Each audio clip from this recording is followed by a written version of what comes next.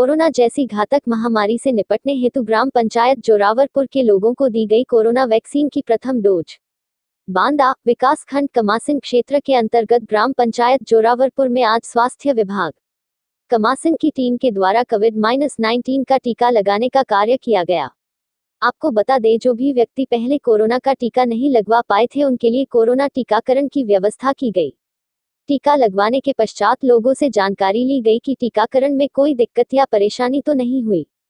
इस पर लोगों द्वारा बताया गया कि कोरोना का टीका लगवाने में किसी भी प्रकार की कोई दिक्कत या परेशानी नहीं हुई तथा अन्य लोगों को भी कोरोना का टीका जल्द से जल्द लगवा लेना चाहिए जिससे कि कोरोना को हराया जा सके।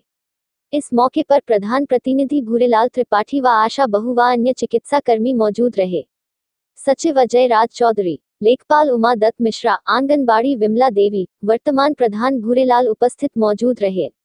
Report Naval Tiwari crime reporter Banda ABP Bharat news channel. क्या नाम है आपका जी? टीका आप लगवा चुके कोई दिक्कत? कोनो दिक्कत? और क्या कोई समस्या? कोई समस्या नहीं है। ठीक है। कुछ बोलना चाहते हैं? कहाँ बोले? कि इनसे सुरक्षा है? सबके टीका सबको टीका कर करवा ले। अच्छी बात है। ये किस प्रोग्राम कितने को मिलाई लग चुके हैं? समय जो है अठारह प्लस के हमारे टीके जो है थर्टी हो चुके हैं। थर्टी चुके हम्म, और पैंतालीस प्लस वाले कितने? कितने हैं?